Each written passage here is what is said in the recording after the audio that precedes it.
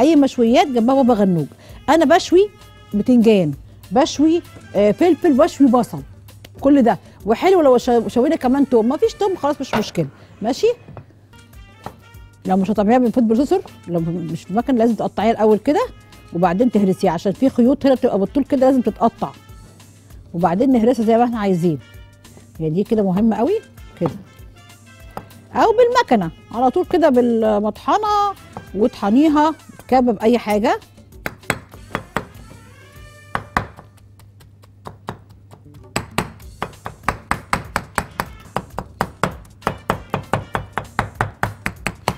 عايز أقول لك آه، طبعا أنت ممكن تعمليهم في في الكبة بس سبحان الله دي طعم ودي طعم. إنها الكبه سهلة جدا وحلوة قوي وكل حاجة بس دي طعم ودي طعم.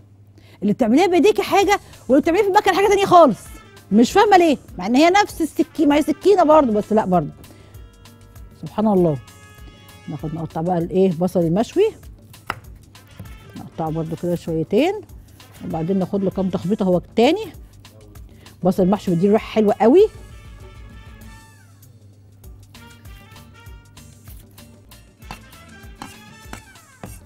قد أعذر إيه؟ يعني أنذرتكم ففرحانه طول الفاصل. عمل لهم إزعاج.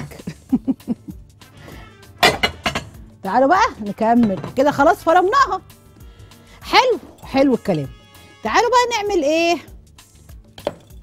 نعمل الطحينه نحط هنا حوالي نص كوباية من الطحينة.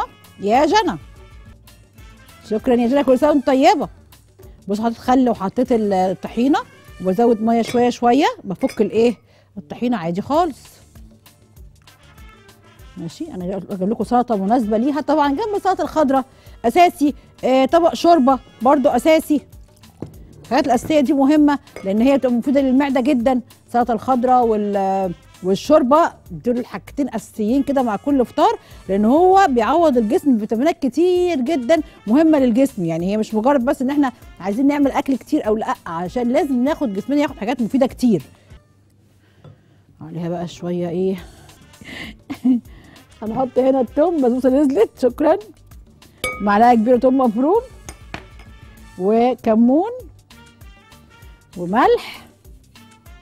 وفلفل. كل ده على الإيه؟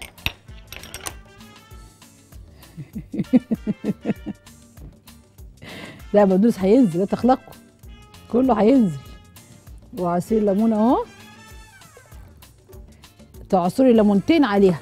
تبقى حلوة قوي فيها الليمون كتير. حلو الكلام.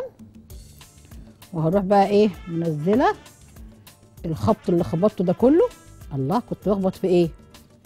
كنا عاملين بتنجان مشوي عليه بصل مشوي وفلفل مشوي.